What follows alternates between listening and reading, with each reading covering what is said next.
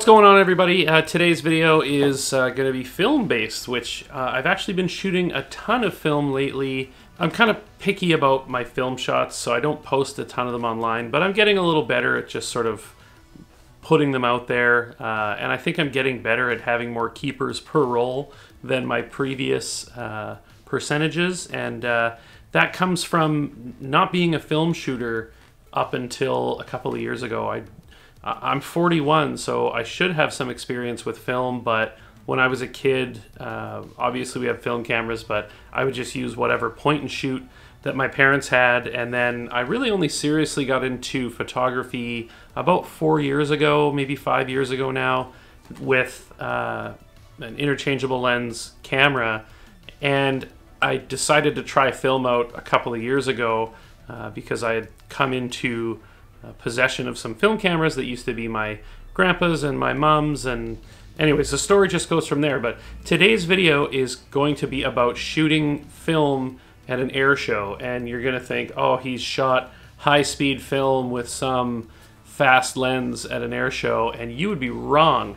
Uh, i went to a regional air show and i shot ektachrome 100 iso slide film in a minolta Maxxum 7000, which is great because it's autofocus, matrix metering, all that stuff. But I shot it with this very consumer grade uh, zoom lens, which is uh, 75 to 300 f 4.5 to 5.6. So this zoom lens on my Maxxum 7000 gave me the reach that I wanted, but definitely was not uh, a fast lens to use in any way. I think it actually ended up working out better than I thought it was going to. I do have a full kit for my uh, Maxxum 7000. I've got the the kit lens that comes on it. I think this is a yeah 28 to 85, which is actually a really good kit lens, which also does macro.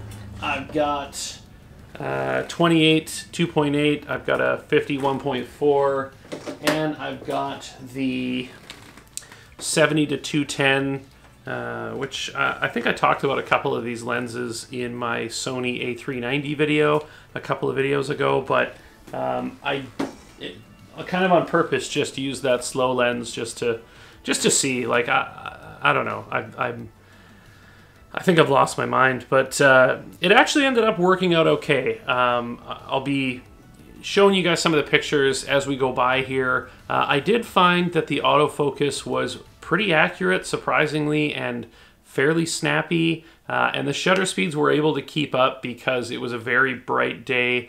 The only real issues I had were a couple of backlit situations where the slide film kind of struggled to give me any shadow detail. Uh, I would rather have had the shadow detail and blown out the background of the photo, but it chose to, or the camera chose to meter um, the majority of the scene as opposed to the part down the center that I wanted exposed properly.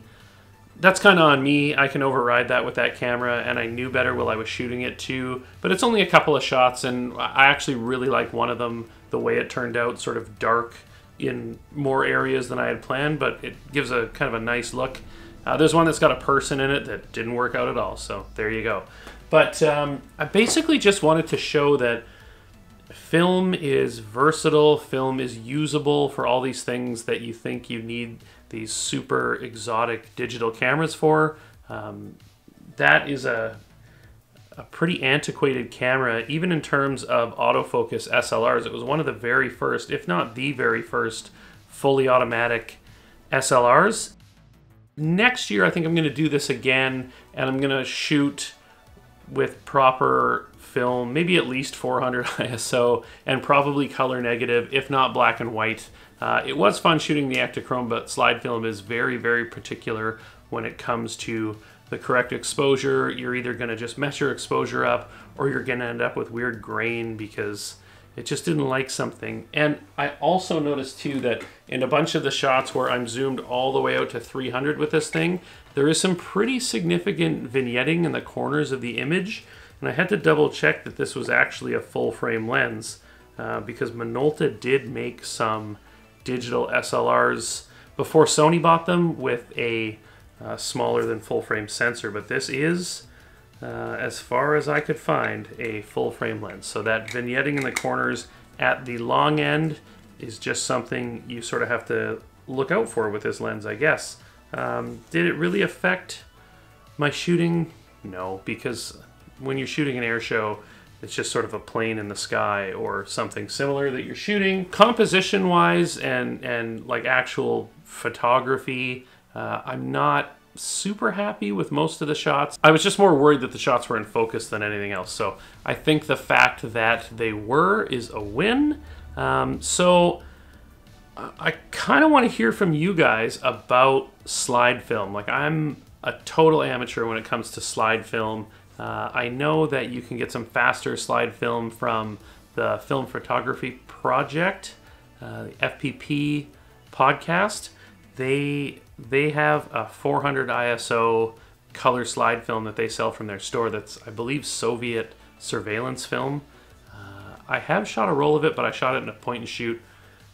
Don't ask me why. The point and shoot did not expose it properly. It was awful.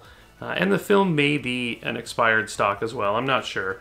But uh, I will also say, too, that the yellow cast of Ektachrome was especially noticeable on this roll. When I first shot Ektachrome when it was re-released, I shot it with this camera. I shot it with the 51.4 and the 70 to 210 but I shot it during golden hour and I just chalked up the yellowish cast of the images to the fact that the light was very golden at the time that I was shooting. Uh, it was uh, just before sunset, right when you have that lovely golden light that makes for beautiful street photography.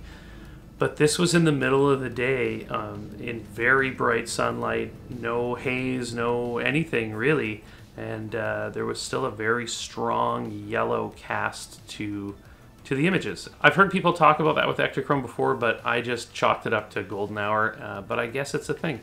I guess it is a little bit on the yellow side, whereas I think Fuji is a little more on the blue-green side if you're shooting their slide film. So let me know what you guys think. Uh, it looks yellow to me. Does it look yellow to you?